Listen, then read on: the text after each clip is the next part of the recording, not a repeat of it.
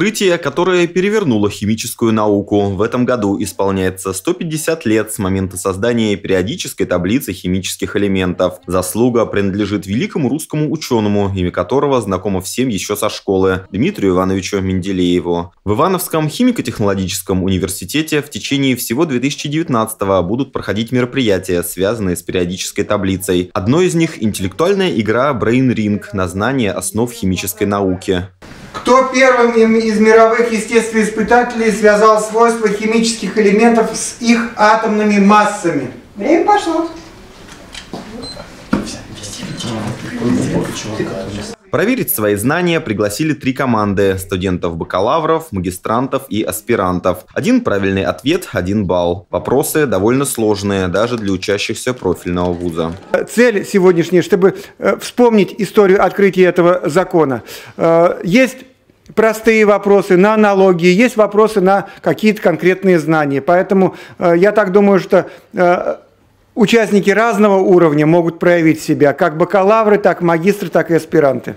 Широкую известность получила история о том, что образ таблицы якобы пришел к ученому во сне. Тогда, в 1869 году, в системе было чуть больше 60 элементов. Сегодня их число 118. Выучить наизусть свойства каждого и вспомнить историю открытия участникам игры оказалось непросто. На мой взгляд, вопросы хорошо подобраны, потому что из них часть на точные знания, часть на догадку. Было очень обидно за один из последних вопросов с ртутью, когда нам буквально там нескольких секунд не хватило, не успели руку поднять.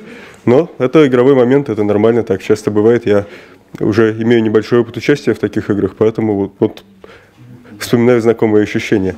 Упорядочить химические элементы и найти взаимосвязи между их свойствами ученые пытались задолго до Менделеева. Первые серьезные опыты по систематизации начались еще в начале 19 века. Однако довести до ума и разработать полноценный периодический закон удалось лишь Дмитрию Ивановичу. Таблица Менделеева – это универсальный закон в химии, один из самых главных.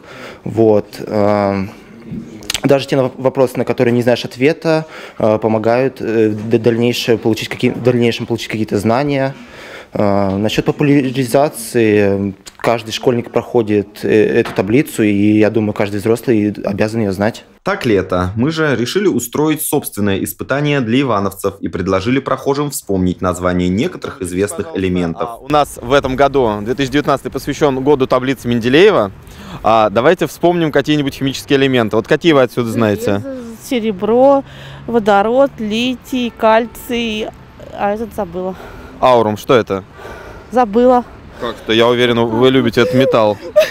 Это золото. золото, золото. Да, хорошо, дальше смотрите. Медь, калий, никель. Ма этот...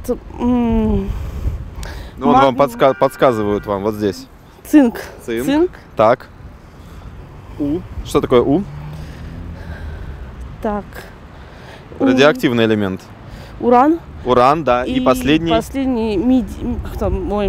Это Менделеевий. Менделеевий, да. Это медь, калий, магний. Э, так. Это как раз вот ртуть, наверное. Это уран. Уран, да. А это этот. А это что? Ядра-то делает цинк. Цинк. цинк. Ферум. Дальше, давайте Аргентум. по порядку. Аргентум это что? Я откуда знаю. Так, ладно. Аурум это золото, да? Золото.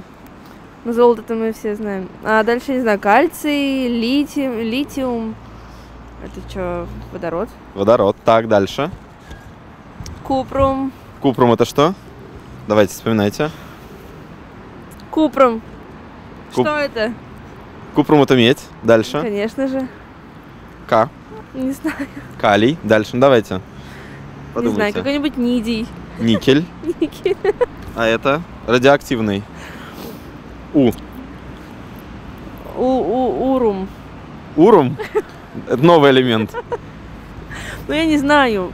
Школьные знания ивановцев даже спустя годы можно оценить на твердую четверку. К счастью, рядовым гражданам запоминать названия всех элементов и их атомную массу ни к чему, ведь вся эта информация содержится в удобном графическом формате в таблице Менделеева.